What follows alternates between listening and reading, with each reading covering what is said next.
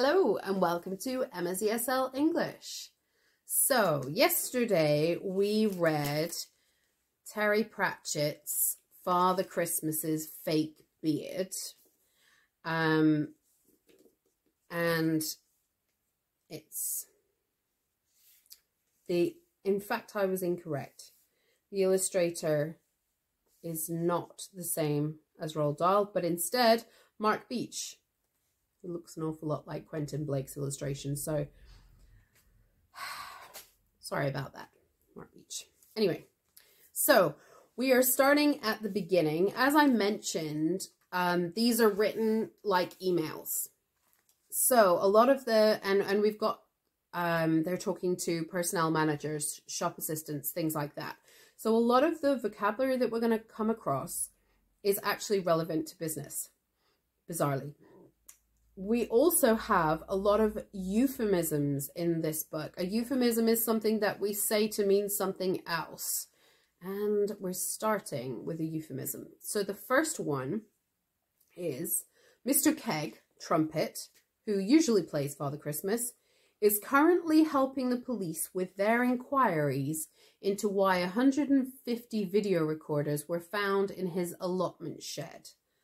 Uh, allotment shed in the UK, we have areas where people who don't have gardens or who don't have big gardens can have their own space outside to grow vegetables. Um, it usually looks a little bit like a field, but there are they're about six foot by six foot. Some of them are a lot bigger than that.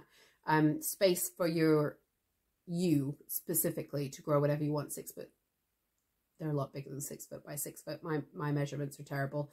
Um, Anyway, so it's a space outside, not near your house. Um, it's not it's not your garden, it's somewhere else. And that's an allotment. So he has a shed on that place that he has got 150 video recorders, which is obviously not where you'd usually keep video recorders. So that gives us a tip into is currently helping the police with their inquiries.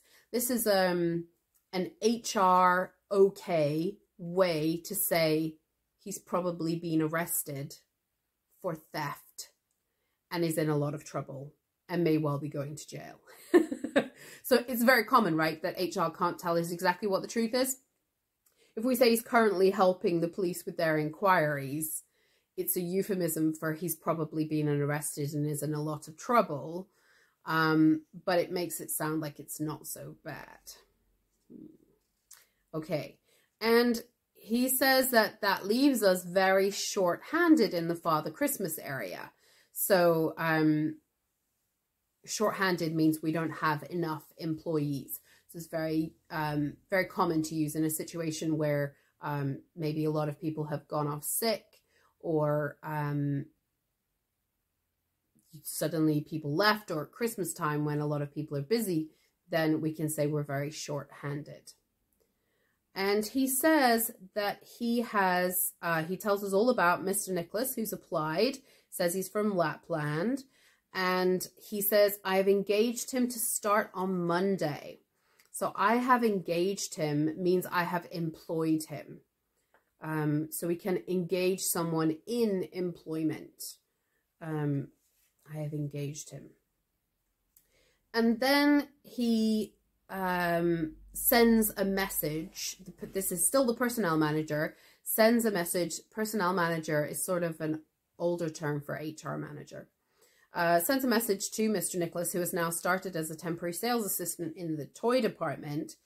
And what we understand from the story is that probably Mr. Nicholas, who we all kind of know is really Father Christmas or Santa, is supposed to be giving the children a ho ho ho, hello little boy or girl, have you been good, and one toy. But what is actually happening is he's telling them ho ho ho and help yourself to whatever toy you like, whether you're a boy or girl, he doesn't mind.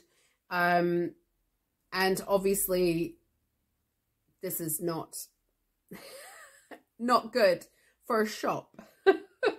so in, in, in the second thing, hello little boy, girl, person, and a discretionary have you been good? So if something is discretionary or at your discretion, it means that it's your choice. You may say, have you been good? Or you may not say. It's up to you. How do you feel today? Who are you talking to?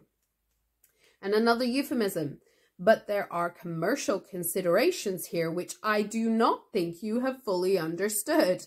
Commercial considerations, of course, is a euphemism for we're supposed to be making money here, not giving away stuff for 75 pence. He's wanting to know about different things. We already know one of the other toys is 17.99. So obviously the Super Laser Zapacon and My Little Madden Polecat dressing table set, a typical Terry Pratchett name for something, um, are pretty cheap toys, and that's all the kids are supposed to be getting. Um, okay. To give in her notice. Okay, so we've moved on. He's again messaging Mr. Nichols, and he's telling us that Mrs. Tracy Williams, sales assistant, is very upset with Mr. Nicholas. She is not enjoying her time working with this Father Christmas, and she wanted to give in her notice.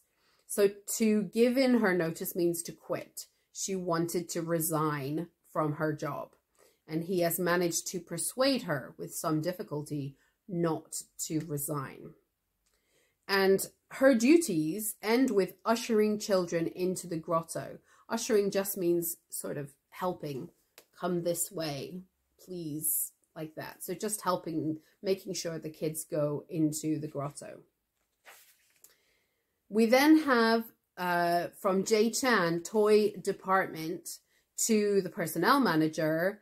He starts, Dear Mr. Picklins, he is a loony.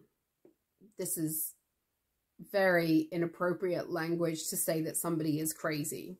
So very British too. Loon or loony is very British to say that someone is crazy. So in this case, he is saying that uh, Mr. Nicholas is crazy. He doesn't uh, like anything that he's saying. And he goes on to say that he was um, obviously looking at one of the toys, which is a um, Maykill Death Cannon, and um, asking what it was for. And Jay Chan had explained that when the hero, it's what the hero uses to blow people away if they park their cars on double yellow lines. So um, in the UK, double yellow lines, two yellow lines at the side of the road means we shouldn't park there. Um, so to blow people away is another euphemism, right? For killing people with a gun. We blow them away. Um, and then we go on to Albert Callaghan, head of security, who starts his email with, he's definitely up to no good. This is a really common phrase for when we think someone is doing something bad, but we don't know what they're doing. So we don't trust someone, but we don't actually have any evidence not to trust them. So we say they're up to no good. And he goes on to say that someone is pinching tools and stuff from the do-it-yourself section. Pinching means stealing.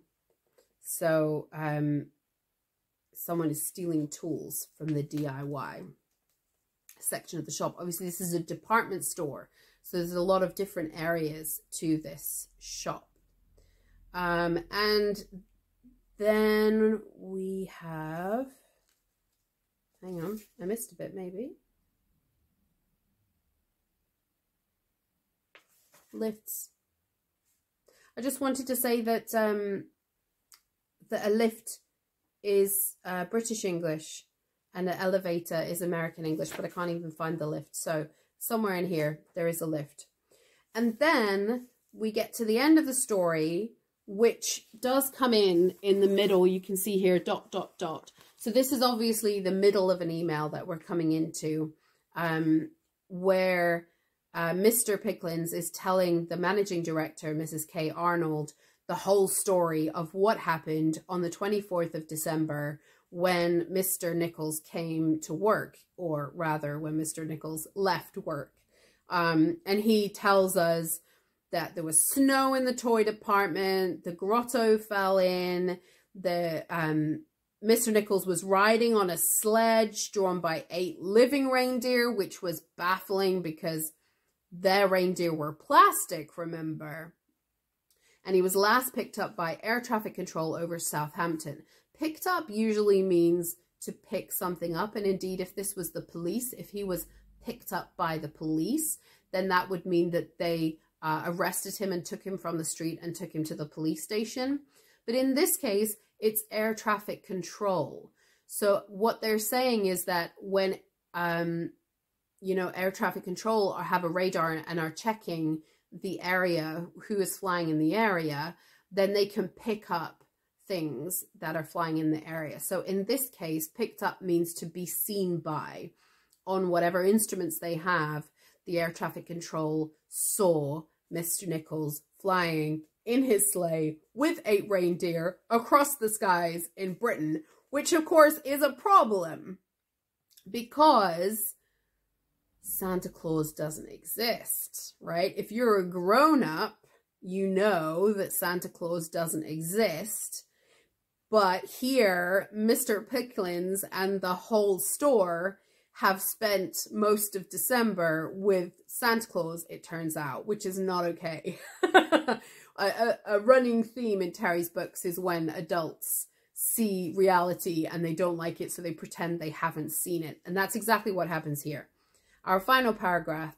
I, of course, agree with you that the whole matter had better be forgotten, since it clearly could not have happened. Anyway, Mr. Chan now thinks he is a teapot. So we have a few things going on there, right? I agree with you. So obviously they've had a previous conversation outside of this email. The whole matter, meaning everything to do with Mr. Nichols and Christmas, had better be forgotten, meaning we're not telling anybody. We're not talking about it. We're not writing it down anywhere apart from these emails. We're not going to call the police. We're not going to do anything. We're going to pretend it never happened since it clearly could not have happened. So we're we all agree that if this happened, then we're crazy because Father Christmas doesn't really exist. So it can't have happened.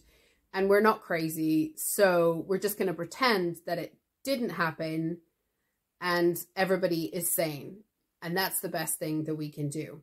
However, Mr. Chan is not sane. Mr. Chan now thinks he is a teapot. So they're all gonna forget it ever happened so they can pretend they're still sane and not crazy. But Mr. Chan is too far. He's already thinks he's a teapot. So that's how he's coping with this situation. when Mr. Chan met Father Christmas, he went crazy.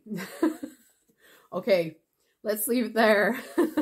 I hope you enjoyed that very, very silly story from Terry Pratchett. Um, it is silly and fun, but still Christmassy. Anyway, I will see you next week. Have a great weekend. Bye.